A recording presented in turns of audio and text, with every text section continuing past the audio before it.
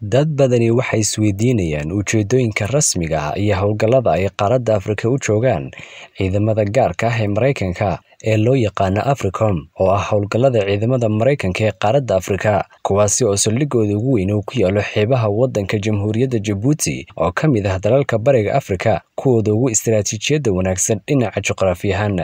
Ambasador Axmed Cabdi Xasan oo loo yaqaano Axmed Suudaan waa qunsulkii hore ee Soomaaliya u joogay magaalada Cadan ee dalka Yemen, ahna la taliyaha arrimaha Carabta ee Wasaaradda Arrimaha Dibadda iyo Iskaashiga Caalamiga. Qoraal uu ka sameeyey hawlgalka AFRICOM ayaan ku soo qaadan doonaa mawduuceennan maanta. Kadib dhammaadkii dagaalkii qaboobaa ee u dhexeeyay awoodihii isdiidanaa ee dunida, waa Maraykanka iyo Midoogii Sofiyeeti ama gaashaanbuurta ay kala hogaaminayeen NATO iyo Warsaw. Qaaradda Afrika ayaa wajahaysay faragelinka ka imanaysa awoodahaasi, si gaar ah waddamada la isku yidhaahdo Geeska Afrika oo ay Soomaaliyana ka mid tahay. Dowladahan ayaa dowladda Maraykanka ka helaya kaalmo militari iyo mid horumarineed. Haddana waxaa xukunkii laga tuuray nidaamkii militariga ahaa ee Siyaad Barre lix iyo labaatankii January sannadkii kun sagaal boqol koob iyo sagaashankii kadib weeraro xooggan oo kaga yimid jabhado hubaysan oo isbiirsaday. Laakiin nasiib darrada ugu weyn ee Soomaaliya haleeshay waa iyada oo dowladnimada ay burburtay. Sidaasi si la mid a waxaa meesha ka baxay nidaamkii militariga ahaa ee Mengistu Xaile Maryam labaatankii bishii May sannadkii kun sagaal boqol koob iyo sagaashankii kadib markii uu waayey taageeradii militari uu ka heli jiray dalka Ruushka. Sidoo kale Eritrea ayaa heshay ismaamul madax bannaan isla bishii sagaal iyo labaatankii May sannadkii kun sagaal boqol koob iyo sagaashankii. Laakiin inay meesha ka baxdo faragelintii lagu hayay waddamadaas waa Geeska Afrika ma sii socon wakhti dheer. Isla wakhtigii uu dhammaaday dagaalkii qaboobaa waxaa soo ifbaxay nooc kale oo faragelineed oo leh qaabab iyo ujeedooyin kala duwan. Aan ku horumarno danaha juqraafiyadeed iyo doorka cusub ee Shiinaha. Isbeddeladii waaweynaa ee dunida ka bilaabmay wixii ka dambeeyey burburkii Shiinaha, una dhexeeyey Shiinaha iyo quwadihii reer galbeedka. Ujeedka ugu weynaa waxa uu ahaa sidii gacanta loogu dhigi lahaa loona kantarooli lahaa ilaha dhaqaale iyo macaadinta qaydhiin ee dhex eegaagta mandaqadda. Labada awoodood waxay isku howleen sida uu u dhigay qoraalka waxaa loo yaqaano dagaalka siyaasadeed oo ku wajahan qaaradda Afrika, si gaara mandaqadda Geeska Afrika. Ujeedkuna waxa uu ahaa sida ay uga madhadhalin lahaayeen waxay ugu yeedheen ujeedooyin qaran, taasi oo ku khasbaysay waddamada awoodda leh ee hirtanku ka dhexeeyo kuna tartamayey siday u qabsan lahaayeen khayraadka waddamadan inay siiyaan kaalmo dhaqaale iyo mid horumarineed oo isugu jirta qalabayn militari iyo tababaristooda iyo sidoo kale xoojinta ciidamada amniga ee waddamada Afrika. Laakiin dowladda Shiinaha ayaa iyadu xoogga saartay waxay ugu yeedhay hirgelinta dhaqaalaha Afrika, si gaara Geeska Afrika waxaanay si weyn u kordhisay maalgelinta ay ka wado ama ay ku samaynayso ilahooda dunida oo Afrika ka helaysay. Sanadkii labadii kun iyo toddoba tobankii boqolkiiba saddex waxa uu gaadhsiiyey boqolkiiba afar iyo toban sannadkii labadii kun iyo tobankii. Sidoo kale labadii kun iyo koob iyo tobankii Shiinuhu waxuu qodista macaadinta Afrika ku maalgeliyey adduun dhan oo gaadhaya lix iyo toban bilyan oo dollar.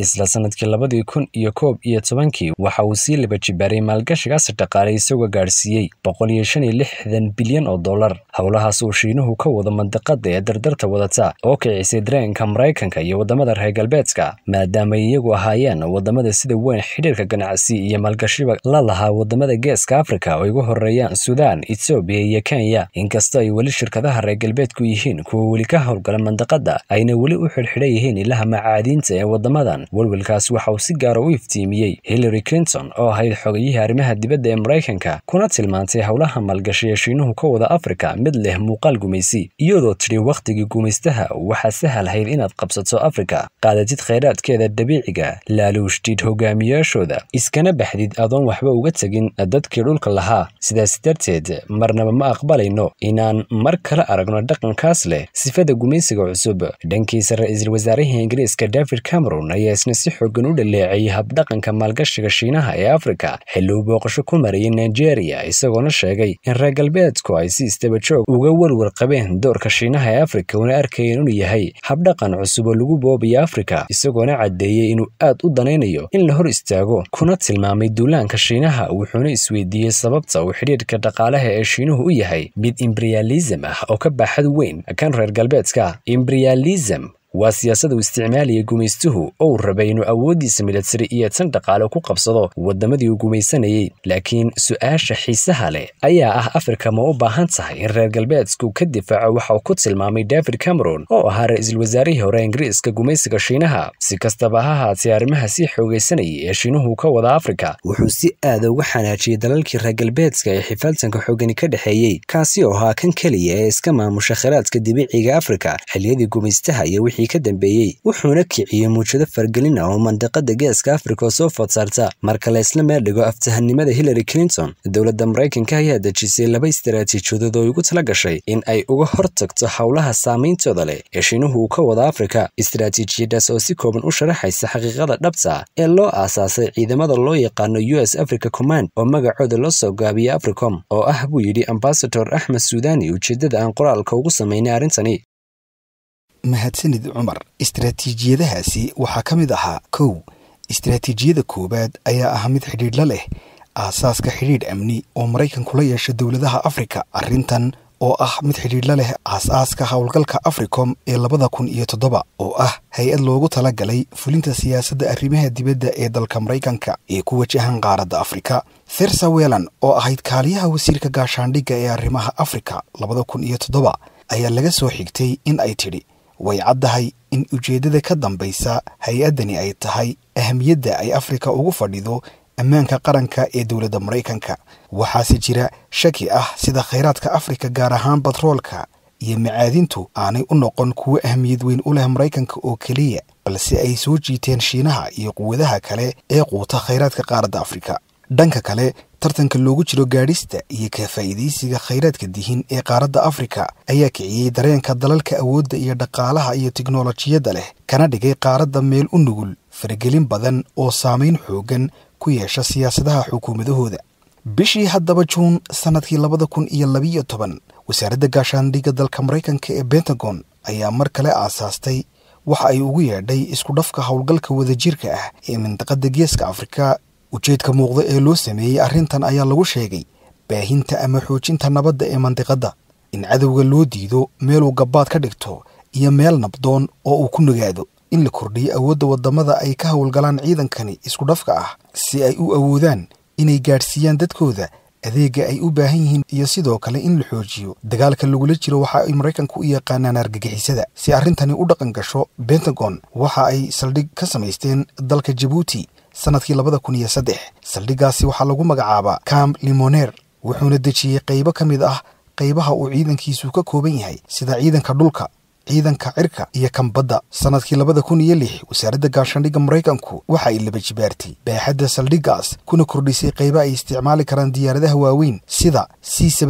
hercules c v si ay taageero u siiyaan c iyo sidoo kale c five galaxy oo loo adeegsado xamuulka agabka milatariga inkasta oo ciidamada maraykanka ee africom saldhiggiisu ahaa markii hore waddanka jarmalka. Haddana saldhigga jabuuti waxaa loo asteeyey inuu noqdo xarunta fulinta howlgallada ku wajahan afrika si gaar ahna mandaqadda geeska afrika. Waa aynu la wada soconnaa in jabuuti ay tan iyo wakhti hore ahayd saldhig uu faransiisku degan yahay iyo sidoo kale saldhig ay ka howlgalaan ciidanka la dagaalanka budhcadbadeedda soomaaliya ee ay qaramada midoobay u sharciyeysay loona yaqaano maritime interception operation oo loo soo gaabiyo mooy. Sidaasi la mid ah jabuuti waxaa saldhigyo ciidan ku leh dalalka jarmalka talyaaniga norway denmark shiinaha jabaan iyo kuwo kale. Sidoo kale maraykanku waxa uu saldhigyo militari oo kale ka samaystay meelo kale oo mandaqadda ka mid ah sida kan ku yaalla magaalada mombasa ee dalka kenya intebe oo yugandha ah kaasi oo ka gacan siiya dalka yugandha sidii ay ula dagaalami lahaayeen fallaagada uu hogaamiyo joseph kony oo gabodfallo fara badan ka geysatay dhinaca bani'aadamnimada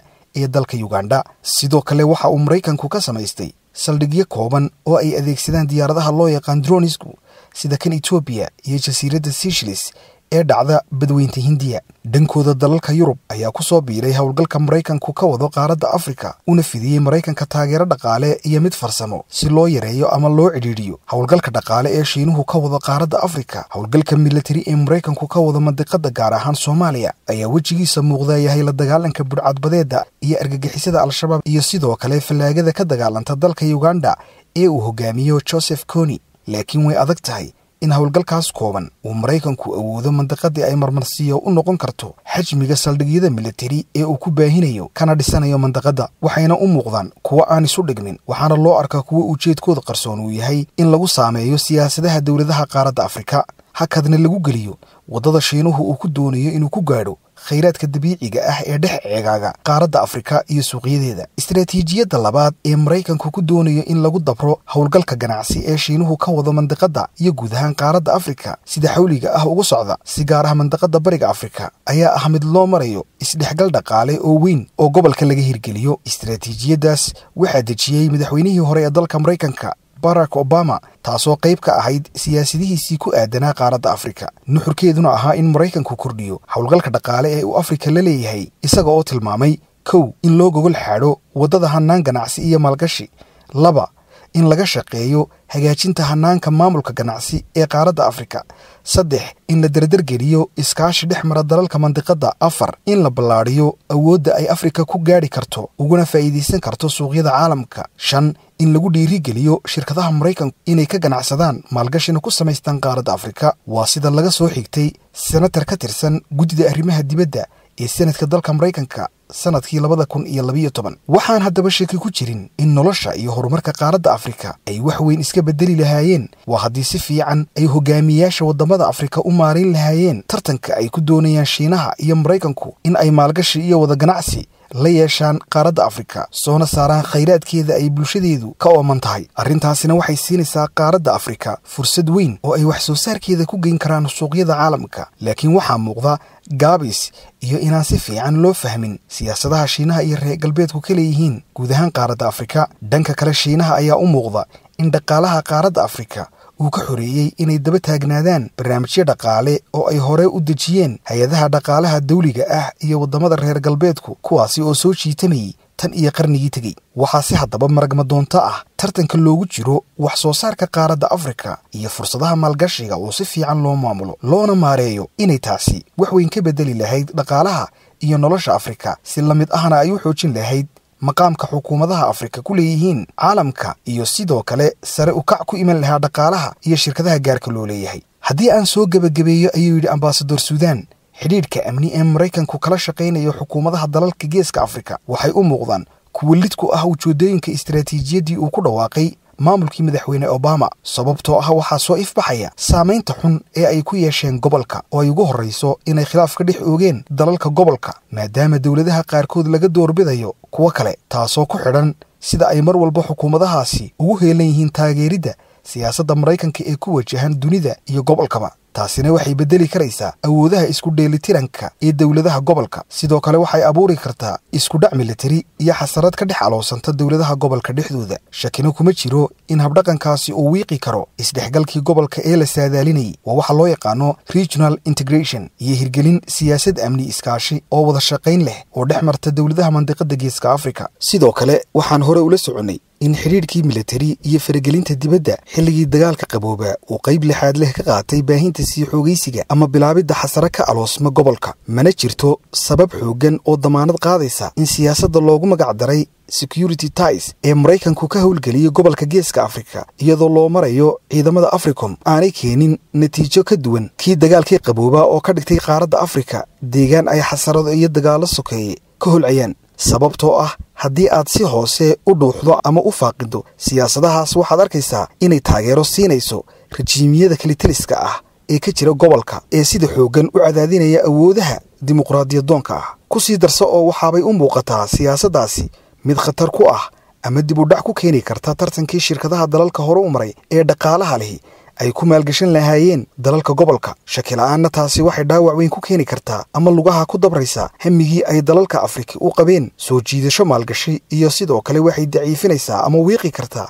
awoodaha gorgortan ee qaaradda afrika. Sidoo kale howlgalka ciidamada maraykanka ee africom waxay kaloo qayb ka tahay howlgallada ay dunidu danaha ka leedahay ee gobolka ku aadan